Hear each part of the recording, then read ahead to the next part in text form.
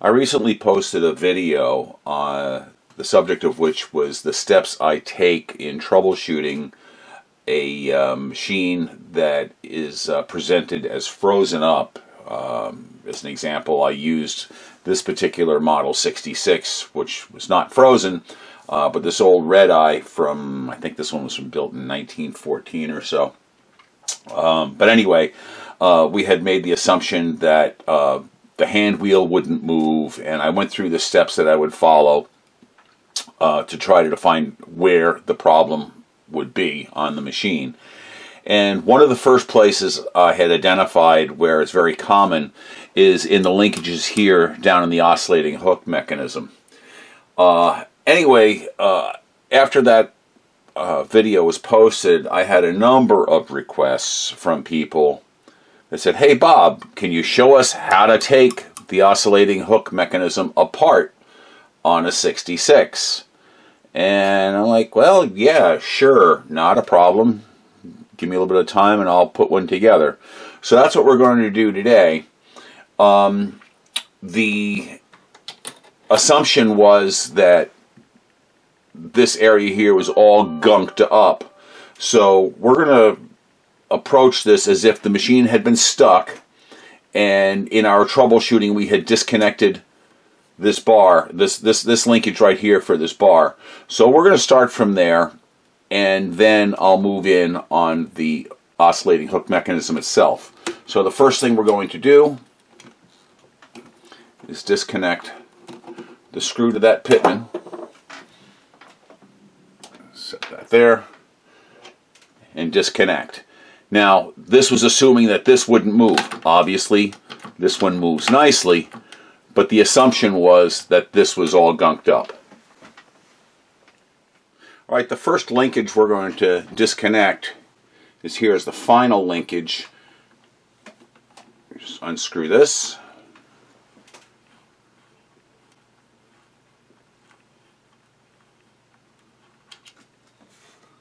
And notice that there's there's a um, it's not just a bolt it's a bolt with a rather large shoulder. This just lifts right off. And this portion of the linkage here is connected directly to the oscillating hook. Now we see that's moving nicely. Had it not been moving nicely we would disconnect here remove that portion of the linkage off of the hook. Now at this point the hook is not going to come out because the uh, bobbin case pieces are still inside the hook. And I just screwed up the timing of this machine completely by taking that off. But I guess we're going to have to retime this anyway. Then the next piece that's going to come off, we have to get the set screw.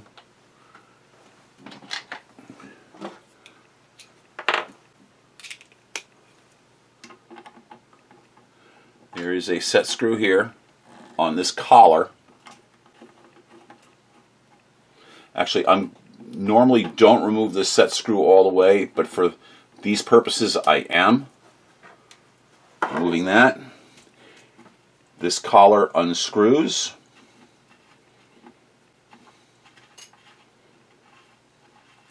I know, once my hand's out of the way.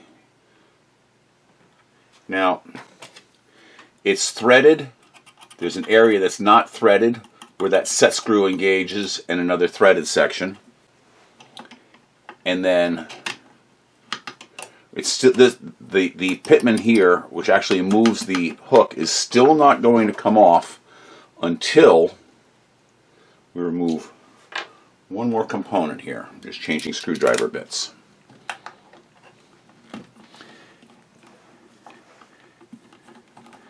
And this is the portion of the mechanism that actually lifts and moves the feed dogs. Once again, the bolt is out. That is out.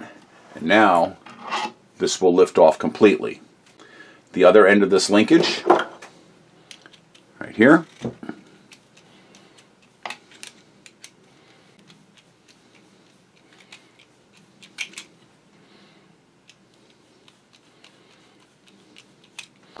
Note, the flat end, the flat side of this bar is facing the bottom of the machine.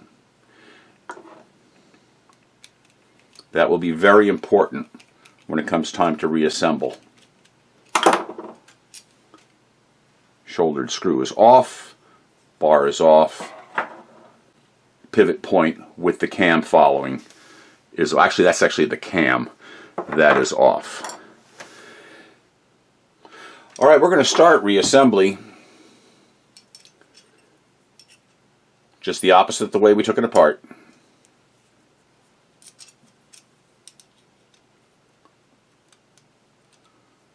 We will place there we go place the bolt through this is a lot more awkward doing this getting my hands positioned for the camera and making it so you can see versus just sitting over it and working on it without worrying about what others can see and what others can't see.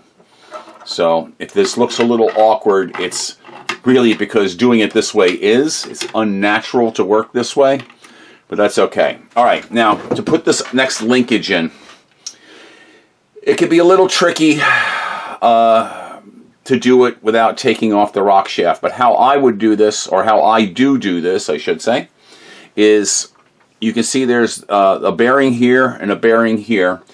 The bearing that's on the rock shaft rides in here. The bearing here goes on the pivot point. So if you start by slipping those two bearings in position, then you can bring this up and over and bring its bolt through and all, then all of a sudden it's not tricky at all. It's quite straightforward. It's back on. And then I'm going to put the um, set screw, the grub screw, back into this. Just get to get it started.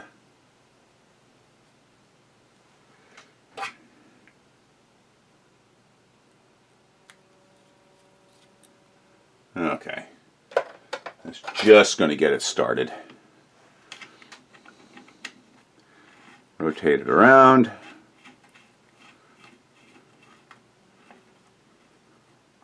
Now this doesn't have to be super tight.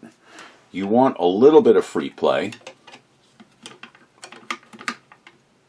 You don't want it cranked on super, super tight. And then screwdriver in the grub screw.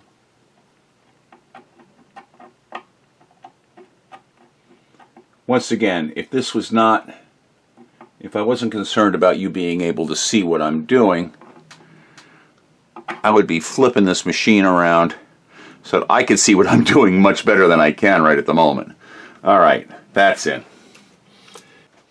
To make life a little bit easier, before putting that last linkage on, going to just pop that on there. Not going to bother with the screw just yet. And now that we're connected back on that pitman, it's going to make this portion considerably easier.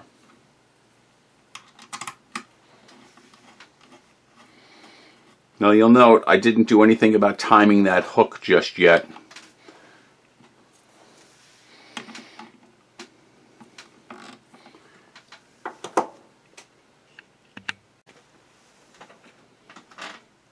And then finally,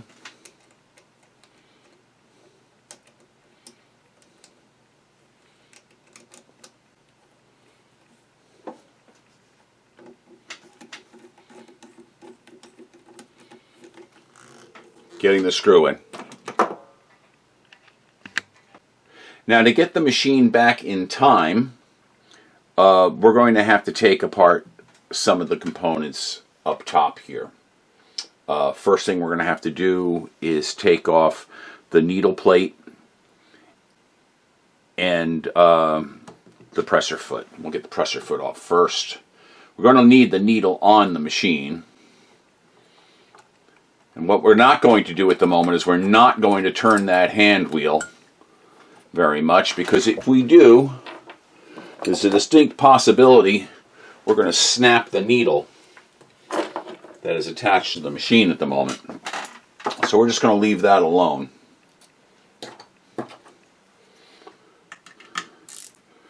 Using a little ratcheting angled screwdriver. This is a Craftsman one. Got it at Lowe's. I love it. Even more so than I like the um, one that came with my Chapman set. This particular screwdriver is really, really nice to work with.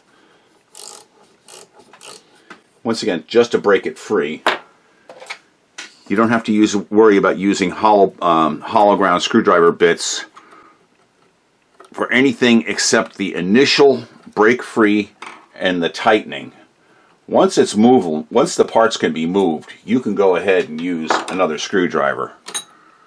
It's only when there's a, a, a possibility of damaging the screw heads that you really shouldn't use them. Okay, a couple other things we're going to need to do in preparation for um, timing this. We have to make sure that this screw back here holds that linkage is loosened up and we need to remove the feed dogs. Okay, the screw to remove the feed dogs is right here. We'll just pull that out. All right, this is an older model um, 66.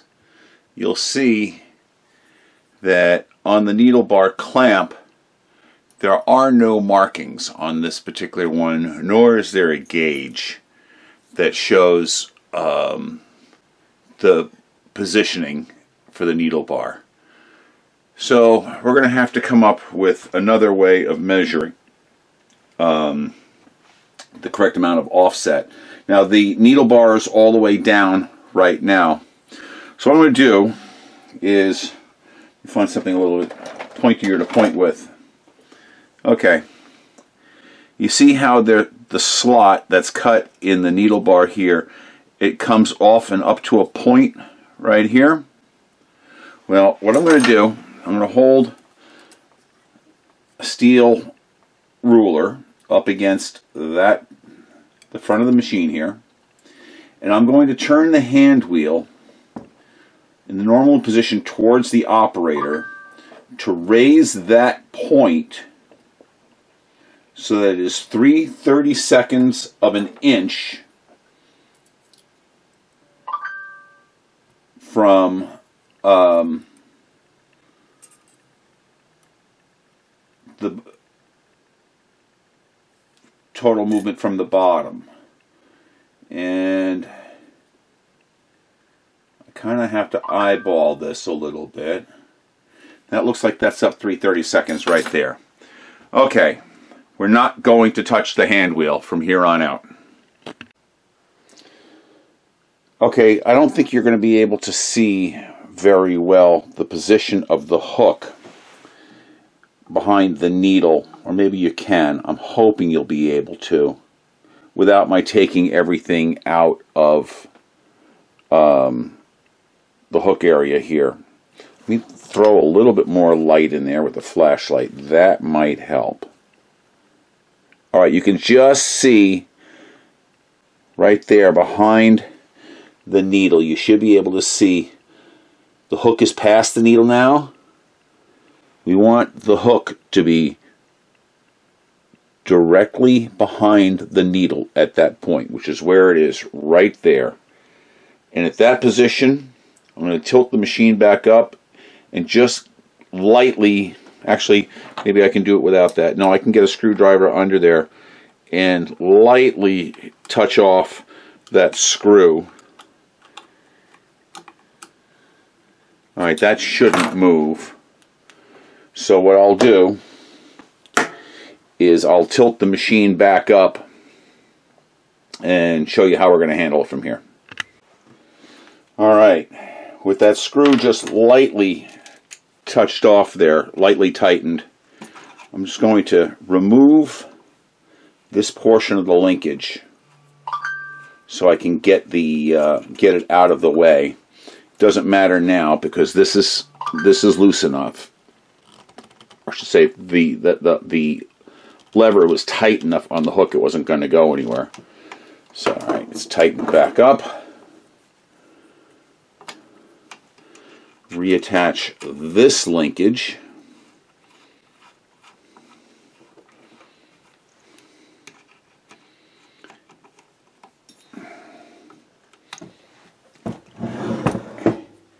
And it looks like, let me aim this back down, I'll zoom in.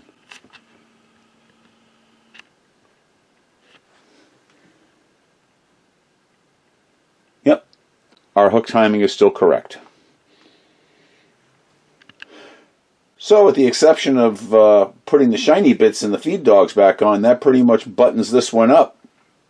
Uh, so that's all there really is to uh, taking the oscillating hook assembly apart once you've identified that as being where the shmoo was uh, locking the machine. Um, we will do another one of these showing you how to take the needle bar area apart. Uh, I didn't want to do it all in one because I want to try to keep the videos a little bit shorter. So thanks for watching and we'll see you on the next one.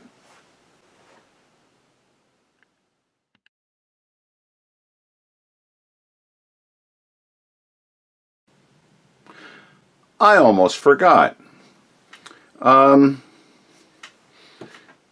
we never actually removed the hook. We just played with the linkages. Let me show you, in case you ever do need to remove the hook, let me show you how to do that.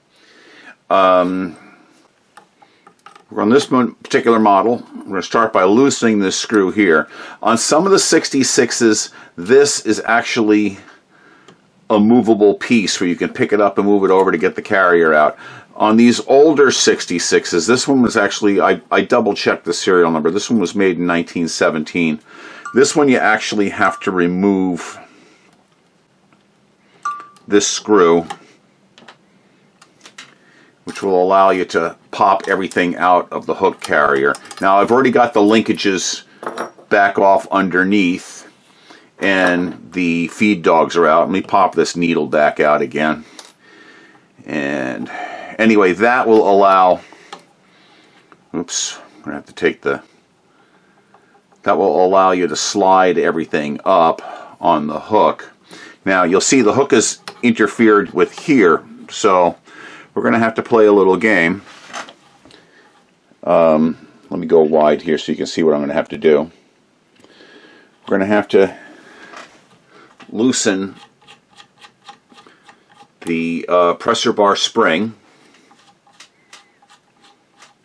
just to take the tension off of it. And that's fine, just getting the tension off is enough. And get an appropriate size screwdriver bit. I think this one is about right. Nope, that's too big. Here we go and we're going to loosen just loosen this which will allow us get this thread cutter off push the presser bar up and out of the way which just allows us to lift and remove. There we go. Lift and remove the hook. Comes right out. So yeah that's how the hook actually comes out um, a lot of times you don't have to take it out completely, but it is nice so you can take it out. You can clean the shaft, get the shmoo off. And sorry I didn't put it into the main sequence. It's it's not that big of a deal. When you're reassembling, um, you can hold off putting the uh, bobbin carrier and the the uh, regulator and the, the, the space adjuster here you can you can get get away with put uh, holding off putting all this back in until after you set the hook timing. And it does make setting the hook timing a lot easier without all this crap in the way. But either way it's not a big deal. And uh, anyway that's how it comes out. Ta-da! And back in. Can't believe I almost forgot to mention that considering the subject is 66 hook. All right. Catch you on the next one.